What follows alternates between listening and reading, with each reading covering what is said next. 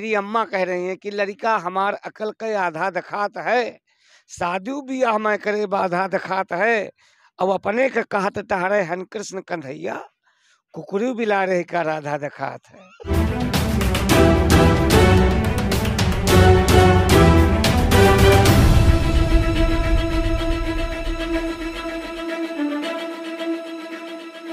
साथियों, नमस्कार। मैं रामकृष्ण पांडे और आप देख रहे हैं आर इंडिया न्यूज़। साथियों, हम आज एक ऐसी शख्सियत से मिलाने वाले हैं। आपको आपको बता दें कि हम सुल्तानपुर में तेरहुत बाज़ार में हैं और तेरहुत बाज़ार में अपनी कविता के नाम से जाने जाने वाले मिस्टर पुष्कर सुल्तानपुरी जी से हम आपको मिलाएँगे और जानेंगे कि इनके जीवन में कविता को लेकर उतार चढ़ाव क्या रहा।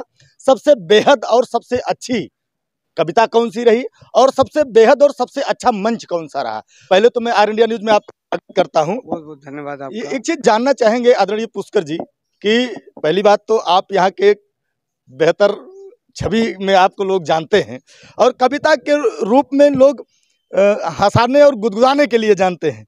कहीं न कहीं आप प्रेम के भी कवि रहे हैं। कहीं ऐसा तो नहीं प्रेम का जो गहरा संबंध है।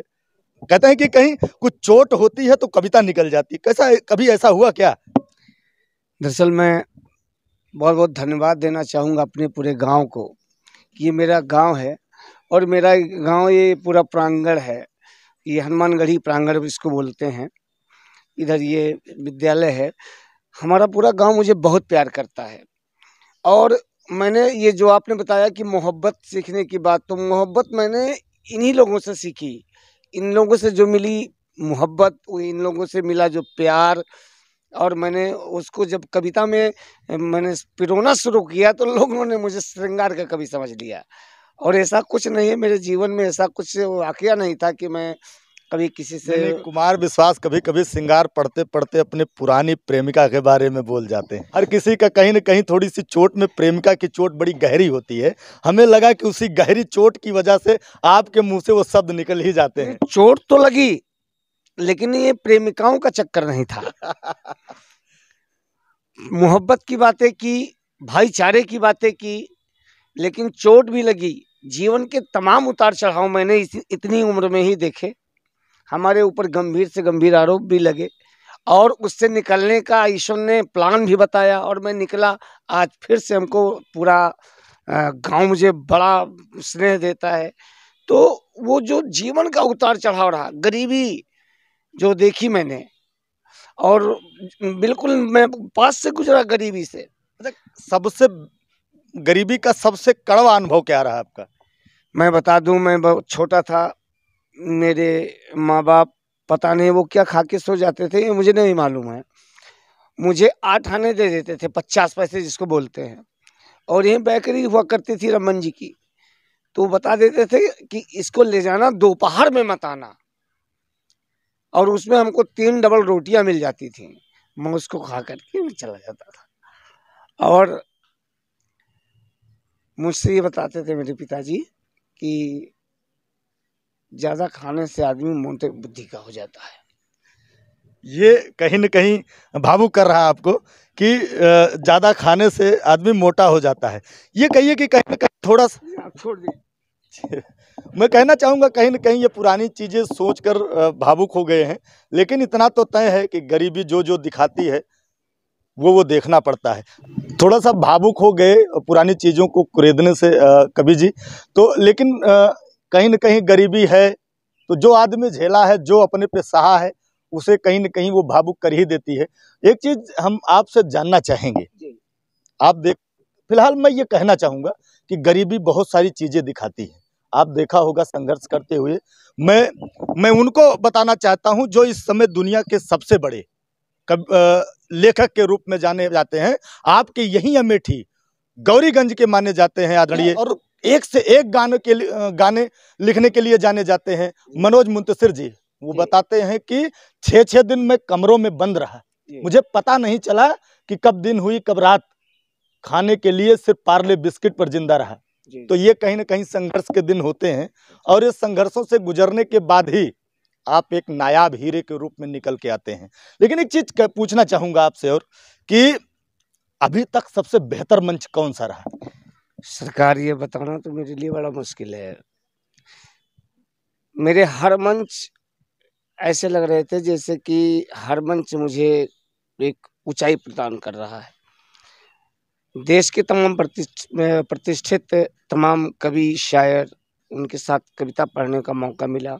अनौपचारिक रूप से रहने का भी मौका मिला। और मैं बड़ा सौभाग्यशाली हूँ कि मैं सुल्तानपुर से हूँ, उस धरती से हूँ जहाँ की मजरू सुल्तानपुरी राम नरेश त्रिपाठी जी ऐसे लोग रहे हैं। और मैं बड़े गर्व के साथ ये कहना चाहूँगा कि मुझे ऐसा लगा ही नहीं कि मैं कोई मंच छोटा हो संतोष आनंद जैसी शख्सियत के साथ भी बैठा। ये सुल्तानपुर के गौरव की बात है कि ये सुल्तानपुर की धरती से निकलकर कुमार विश्वास के साथ कविता किए हैं। ये विष्णु सक्सेना जी के साथ कविता कर कर चुके हैं। और आपको बता दें कि दुनिया में सर्वश्रेष्ठ गाना लिखने वाले एक प्यार का नगमा है। वो गाना दुनिया में सबसे फ़ेमस हुआ आज वो थोड़ा सा बीमार रहते हैं, उनके साथ आपने मंच साझा किया है। ऐसा नहीं है कि उनका एक ही गाना फ़ेमस हुआ हो। एक गलियाँ ये चौबारा, यहाँ आना ना दोबारा। ज़िंदगी की न टूटे लड़ी, प्यार कर ले घड़ी दो घड़ी। उन्होंने ये भी लिखा कि भवने ने खिलाया फूल फूल को। तो ये सब तमाम ढेर सारे दिल दीवानों का डोला दिलदार के, उन्होंने जितने गीत लिखे संतोष आनंद जी ने ये मेरा सौभाग्य रहा है कि उनके साथ काव्य पाठ करने का मुझे सौभाग्य प्राप्त हुआ है। उन्हीं के साथ नहीं मैं मैं बहुत खुश नसीब हूँ किस्मत वाला हूँ और माँ बाप की दुआएँ हमारे साथ हैं कि हम अदम गोंडवी जैसी शख्सियत के साथ भी काव्य पाठ कर चुके अच्छा, हैं। चीज़ और जानना चाहेंगे जी। कि जैसे सबसे ज़्यादा अच्छी कविता आपकी कौन सी रही? और जिस पर लिखने पर आपको गर्व महसूस हुआ हो, और ऐसी कौन सी सबसे थोड़ी सी खराब कविता रही जिस पर लिखने पर आपको अफसोस हुआ हो? आप तो बड़े भाई ऐसा प्रश्न पूछ लिए। कोई माँ बाप ये नहीं कह सकता कि मेरा कौन सा बेटा अच्छा है, कौन खराब है। मैं तो अब माँ जो लिखवाती है वो लिख देता हूँ। लेकिन मेरे पास इतनी हिम्मत नहीं कि मैं बता दूँ कि मेरी कौन सी मेरी एक किताब आई पुष्करणी। मैंने पढ़ा उसको थोड़ा सा जी पुष्करणी आई जो अमेज़न पे उपलब्ध है और उसमें आप देखेंगे तो बदला बदला सा माहौल लगेगा वो मंच पे हम उसको नहीं पढ़ते। तो ये अलग बात है कि मंच की कविताएँ अलग हैं और किताबों की कविताएँ अलग हैं लेकिन कविता कौन सी अच्छी है ये बता पाना मेरे लिए बड़ा कठिन है। नहीं कभी कभी होता है कि मैंने ये बेहतर कर दिया। कैसे कि थोड़ा सा अच्छा नहीं हुआ और अच्छा हो सकता था? नहीं वो हर बार मुझे लगता है कि मैं अच्छा कर रहा हूँ। मैं कुछ भी लिखता हूँ तो लगता है कि मैं कुछ अच्छा कर रहा हूँ। अच्छा एक चीज़ और जानना चाहेंगे। आप काफ़ी समरसता की बातें करते नज़र आते हैं। जी जी। क्या लगता है कि ये बातें सार्थक हैं? कभी कभी ये प्रश्न मुझे बड़ी हमको डर था कि ये प्रश्न मेरे सामने आएगा। मैंने म- आपको कविता करते हुए और मंच पर खड़े होके आपने समरसता की बातें की है। और मैंने सुना है मेरे सामने आपने की है। जी जी जी जी लेकिन अभी जो जो घटनाएँ जगह जगह दिख रही आपके सुल्तानपुर में जो कभी ना हुआ वो भी आपके सामने हुआ। जी। और उसके बाद भी आप समरसता की बात की। लेकिन समरसता की बातें एक ही जगह तो लागू होती नहीं। वो तो हर जगह लागू होनी चाहिए। हर धर्म में होनी चाहिए हर जाति हर संप्रदाय में होना चाहिए। लेकिन बातें करने से तो नहीं होगी। और आपने बातें की तो क्या लगता है कि समरसता सुल्तानपुर में स्थापित रहेगी? नहीं हम लोग कामना करते हैं। कामना करते हैं कि हमारे देश में सम, समरसता आए सांप्रदायिक सद्भावना आए हम लोग आपस में लड़े ना। हिंदू मुस्लिम सिख ईसाई ये कहने में बड़ा आसान है। आपस में सब भाई भाई कहने में बड़ा आसान है। लेकिन अगर अपने आँगन में देखा जाए तो बिखरा हुआ लगता है। अगर यही मैं चूँकि मैं किसी विशेष समुदाय की तरफ़ नहीं, टिप्पणी तो रहेगी आपसे एक टिप्पणी ये रहेगी कि आपके यहीं बगल में ज़्यादा से ज़्यादा जो जिस स्थान पर बैठा हूँ ये आपको बता दें पीछे दिखाना कैमरामैन से कहूँगा जरा दिखा दे ये हनुमान जी का दरबार है। जी, जी, उनके प्रांगण में हम लोग बैठकर ये इंटरव्यू कर रहे हैं और उन्हीं के दरबार में ये मैं आपसे पूछूँगा भी कि जिस तरीके से समरसता की बात आप करते हैं उसी समरसता को काश वो लोग सोचते, लेकिन नहीं सोचे और हिंदू देवी देवताओं को खंडित किया। वहाँ जाने वाले पुजारियों को यूँ खींच के चाँद तारा जैसी आकृति बना दिए। तब भी लगता है कि समरसता आएगी। ये कड़ा सवाल है और ये कहीं ना कहीं सवाल बड़ा है। बिल्कुल बड़ा है। लेकिन उसमें हम अगर देखें, उसको कुरेद कर देखें तो उसमें जो आलिम लोग थे, उनकी उपस्थिति नहीं रही होगी। वो उपद्रवी रहे होंगे। वो एक ऐसा जाल फैला हुआ है देश में, तमाम तरीके के लोग जिहादी और ये सब नाम दे करके तो उनमें ऐसे लोग होते हैं जो पढ़े लिखे हमें तो लगता है कि नहीं होते, वो जाहिल होते हैं। उनको हम आदमी, मुसलमान और हिंदू में तो बांटना मुश्किल है, उनको मैं आदमी ही नहीं समझता हूँ। ऐसे लोग रहे होंगे जिन्होंने उपद्रव किया और जो हुआ दुर्भाग्यपूर्ण हुआ, ऐसा कभी नहीं होना चाहिए था। हम हमारे एक मित्र हैं, कवि हैं, वो लिखते हैं कि मैं ईद में आया था तू, होली में चला। फुर्सत में मेरे, यार तू मेरी खोली में चला। अगर इसी तरीके से सद्भावना रही, तब तो ठीक है। लेकिन अगर हम चंदन लगाते हैं तो लोग मुझे सांप्रदायिक समझ लेते हैं। अगर मैं पीला वस्त्र धारण कर लेता हूँ तो लोग मुझे सांप्रदायिक समझ लेते हैं। अगर हम भारत माता की जय बोलता हूँ तो लोग मुझे सांप्रदायिक समझ लेते हैं। अगर मैं वंदे मातरम बोल देता हूँ तो लोग मुझे सांप्रदायिक समझ लेते हैं। जब ये स्थिति आती है तो कहीं ना कहीं दिक्कत खड़ी हो जाती है। और ये दिक्कत लगभग हम देख रहे हैं कि इस समय हमारे देश में, और ख़ास तौर पे मैं धन्यवाद देना चाहूँगा उत्तर प्रदेश की सरकार को। कि आपने बहुत कुछ संभाला है, लेकिन ये भी आपको मानना चाहिए, मैं सरकार को आपके इस चैनल के माध्यम से, आर इंडिया के माध्यम से मैं संदेश देना चाहूँगा सरकार को कि आपको ये भी मानना चाहिए कि कहीं कहीं आपसे भूल हुई है और कहीं कहीं आप अनदेखी किए हैं। कहीं न कहीं कचोट रहा आपका मन। हमें लगता है कुछ प्रश्न आपके दिल में हैं कि वो प्रश्नों का जवाब आपको नहीं मिल पाया, इसलिए कचोट रहा है। नहीं, अब प्रश्न तो पूछने का काम आपका है। लेकिन लेकिन सत्य तो ये है कि एक कोई भी काम हो, उसका या तो निर्णय, उत्तर, जीवन हमारी अभ्यास पुस्तिका है। हम इस पर क्या रंग डालते हैं, क्या लिखते हैं, क्या नहीं लिखते, बाद में आने वाली पीढ़ी पढ़ेगी। लेकिन अगर हम एक विशेष समुदाय मूर्तियाँ लेकर जा रहा माँ दुर्गा पूजा का कार्यक्रम चल रहा है। उनकी शोभा यात्रा निकल रही है। अब पत्थरबाजी हो रही है। अभी हमने तो ये भी सुना था कि ये कार्यक्रम जो शोभा यात्रा की थी एक दिन पहले थी। और उसी दिन उस विशेष समुदाय के में कोई कोई त्योहार उन्होंने अपना दिन बदला। दिन बदला। नौ तारीख को थी। उन लोगों को करना था लेकिन वो दस तारीख को इसलिए ले गए कि उस दिन कोई त्यौहार था मुसलमानों का। मुसलमान का कोई त्यौहार था इसलिए उन्होंने दिल बदला। लेकिन क्या दिन बदलने के बाद रोका जा सका? नहीं हमको अब यही यही रामकृष्ण जी मैं क्षम बहुत क्षमा चाहता हूँ लेकिन हम दिन बदल दिए। यहीं पर हमको दिल बदलना है। नहीं, नियत तो नहीं बदली ना। हम दिल नहीं बदला दिन तो बदल गए। हम एक दिन लेट कर गए कि भाई आपका त्यौहार पूरा हो जाए शांति पूर्वक हो जाए। हमने दिन बदल दिए लेकिन लोगों के जब दिल नहीं बदले तो दुर्घटना वही हो हम ये जानना चाहेंगे कि जो आप ज़्यादा गाते हो आपको प्रिय लगी मैं एक कविता आपसे सुनना चाहूँगा। मैं बहुत अच्छा लगा और आपके चैनल के माध्यम से मैं चार पंक्तियाँ यूँ कहूँगा कि यूँ ख्वाबों में, ख्यालों में ये दिल नाशात करते हैं। मेरा हमदम सलामत हो, यही फरियाद करते हैं। और हवा का एक झोंका छू के उनको आ गया होता।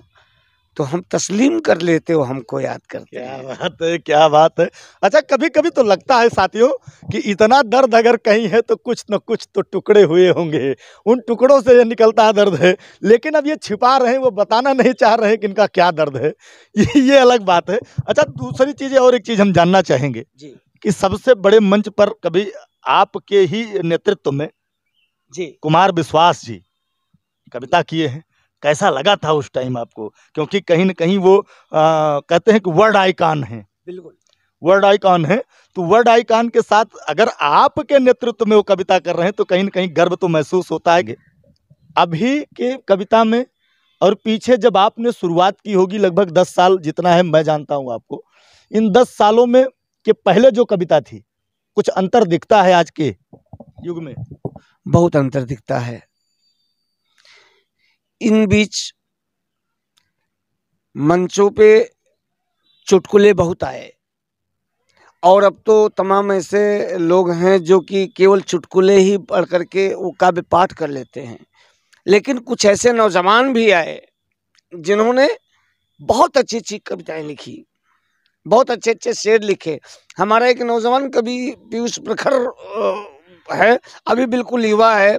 चार छः दस मंच देखा होगा होगा उसने।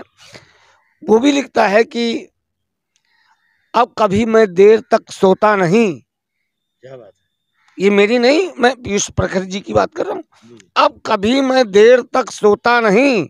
देर तक सोने से कुछ होता नहीं। क्या गजब का लिख दिया। तो अच्छे लिखने वाले भी आए लेकिन फिर उनको मंच नहीं मिला। मंच नहीं मिला। कहीं न कहीं मंचों के अभाव में कविताएँ दब भी रही, आप मानते हैं? बिल्कुल मानता हूँ, उनको मंच नहीं मिला। नौजवानों को मंच मिलना चाहिए। हमारे जो नौजवान शायर हैं, नौजवान कवि हैं, और नौजवान कवियों और शायरों से निवेदन है कि वो आग लगाऊ, कविता ना पढ़ें। मैं भी लिखता हूँ मंदिर पर, मैं भी लिखता हूँ मस्जिद पर। मैंने मंदिर मस्जिद पर लिखा। जब मंदिर नहीं बना था तो उसका निर्णय नहीं आया था। तब वो पंक्तियाँ लिखी थी मैंने कि अब न मंदिर को न मस्जिद को उछाला जाए खुशनुमा रास्तों को ढूंढ निकाला जाए। लेकिन अब मैंने एक पंक्ति ऊपर की बदली और भी पूरी गज़ल लिखी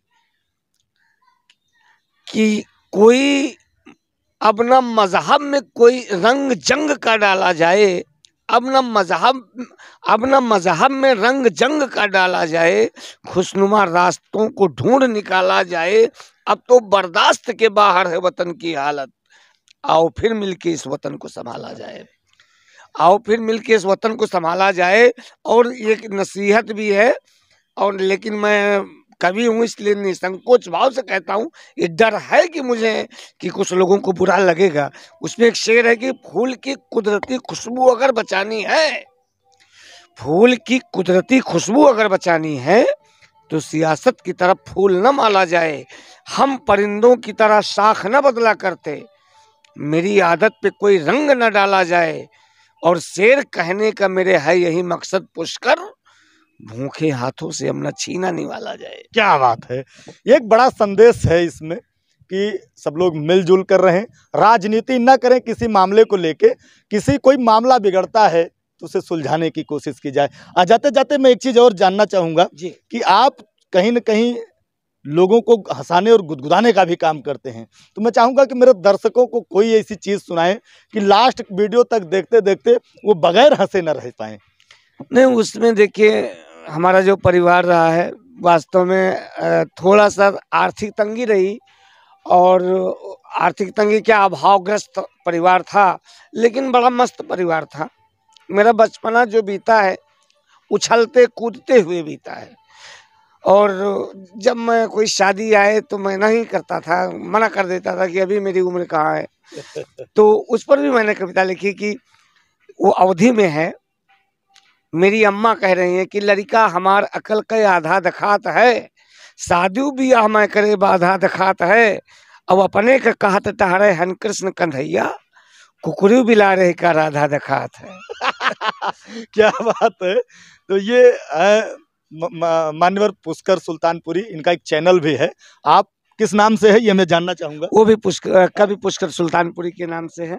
कभी पुष्कर सुल्तानपुरी के नाम से चैनल अगर आप यूट्यूब पर ढूंढेंगे तो आपको सारी कविताएँ इनकी आपके चैनल पर मिल जाएगी आपके मोबाइल स्क्रीन पर या टीवी स्क्रीन पर देखने को मिल जाएगी। आर इंडिया न्यूज़ में बने रहने के लिए आपका बहुत बहुत धन्यवाद। जय हिंद जय भारत। आपके कमेंट्स ज़रूर चाहिए। ये पुष्कर सुल्तानपुरी भी पढ़ें और जानें। कि आपने इनको देखा है और इनके गानों पर, इनके विचारों पर, इनकी कविता पर, इनके वक्तव्य पर अपने कमेंट्स ज़रूर दीजिए। जय हिंद, जय भारत।